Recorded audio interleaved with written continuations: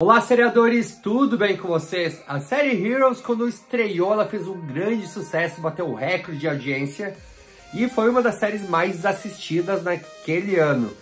E aí, depois ela percorreu por 4, 5 temporadas, acabou. Beleza, a série foi cancelada e vocês pediram e hoje eu trago por onde anda o elenco de Heroes.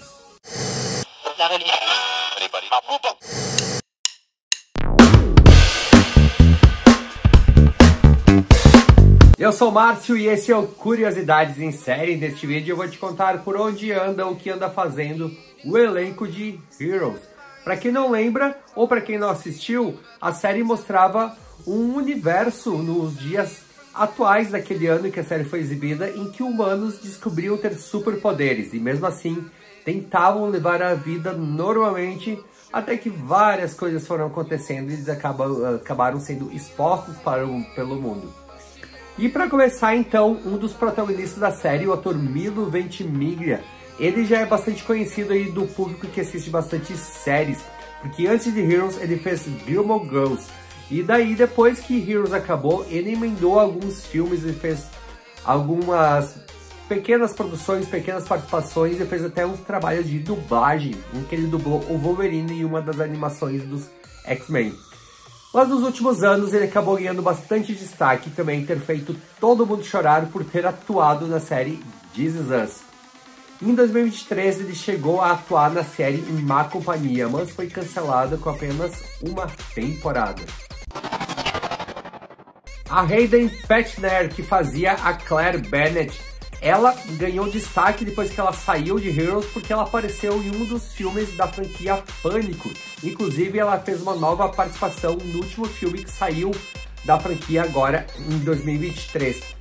E ela também ganhou bastante destaque porque no mundo das séries, depois de Heroes, depois da franquia Pânico, ela protagonizou a série Nashville, que durou de 2012 até meados de 2018. O Jack Coleman, que fazia o Noah Bennett, o pai da Claire, o pai adotivo da Claire, ele atuou em várias séries, ele teve destaque na série The Mentalist, ele fez uma participação na série House e também ele fez um personagem icônico na série The Office, chamado Rob Lipton. O ator Mazioka, que fazia o Hiro Nakamura, ele, depois de Heroes, ele atuou em algumas alguns trabalhos de dublagem e também de produções audiovisuais. E ele tem até uma empresa focada nisso. Ali por 2010, ele entrou para o elenco da série Hawaii Five-O, onde ele ficou até meados de 2019. O ator Greg Gumber, que fazia o Matt Parkman, ele também se destacou em diversas séries. E aqui em destaque como Master of None, ele participou de The Client List, Love Bites também fez uma participação no filme Star Wars O Despertar da Força. E recentemente ele pode ser visto na série The Boys do Prime Video. O ator Randall Samamurti, que fazia o Suresh, ele eh, também depois de Heroes ele foi mais pro lado das séries também, em que ele esteve em, em Beauty the Beast, Cover Affairs e também fez um vilão na série The Flash ator Adrian Pasdar, que fazia o, Nathan Petrelli, o irmão do Peter Petrelli, ele se destacou também no mundo das séries. Ele participou de Castle, Burning Notice, teve também quase ao mesmo tempo em Marvel's Agent of S.H.I.E.L.D. e também em Supergirl. Lembrando, são duas produtoras bastante concorrentes do universo aí do mundo nerd geek. O ator Zachary Quinto, que fazia o Sylar, o grande vilão Sylar, ele se destacou bastante tanto no cinema quanto no mundo das séries. O cara trabalhou pra caramba. Ele pode ser visto em algumas temporadas de American Horror Story, inclusive ele voltou para fazer uma participação na última temporada.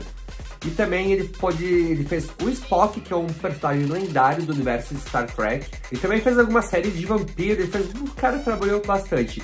E, e em 2024 já foi confirmado que ele vai estrelar a série The Wolf.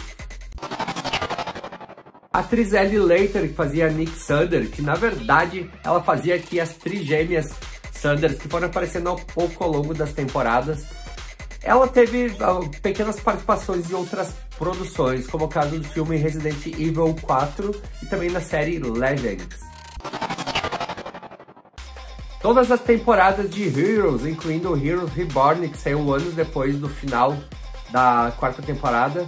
Ela pode, todas elas podem ser assistidas no Globoplay. Então, se você gosta, vai lá assistir. Você gosta desse estilo de vídeo, de saber por onde anda o elenco de algumas séries? Então comenta aqui quais outros você gostaria de ver também. Também não esquece de dar uma passadinha lá no Instagram, no TikTok, também aqui no Shorts do YouTube, que sempre vai ter trechinhos e curiosidades dessa série favorita. Já deixa seu like nesse vídeo, se inscreve no canal se ainda não se inscreveu e nos vemos em breve no próximo vídeo.